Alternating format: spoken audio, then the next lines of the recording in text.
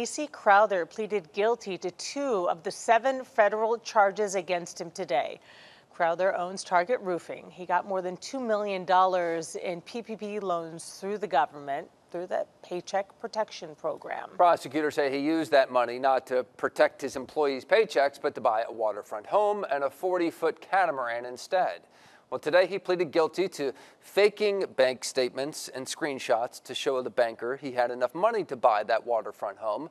But he's still fighting other charges. NBC2 Shannon Clow was at the courthouse all day. She joins us live with what happened.